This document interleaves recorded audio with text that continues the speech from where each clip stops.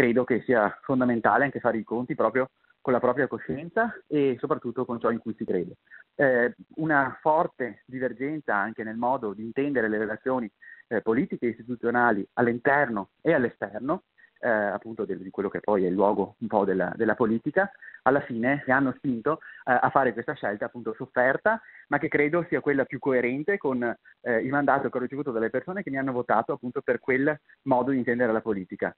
È una bufera politica quella che scuote il comune di Bassano del Grappa, con un atto che non mancherà di scatenare reazioni e polemiche all'interno della maggioranza guidata dal sindaco Riccardo Poletto. Mattia Bindella, eletto nella lista Bassano per tutti, in forza alla maggioranza con le deleghe alle pari opportunità e alla legalità, ha rassegnato le dimissioni da consigliere comunale e le sue dimissioni sono un atto dalle forti motivazioni politiche, una critica forte, aperta e franca sul modo in cui è stata condotta l'attività amministrativa durante questa legislatura. Uno dei, dei problemi appunto che ho riscontrato è proprio il ruolo dei consiglieri comunali in quanto rappresentanti dei eh, cittadini. Il Consiglio Comunale non è un semplice ruolo, eh, luogo di ratifica, ma è un luogo, eh, dovrebbe essere il luogo della decisione e del confronto. E quindi credo che proprio i consiglieri comunali di maggioranza e di minoranza dovrebbero essere maggiormente coinvolti eh, in, questo, eh, in questo percorso.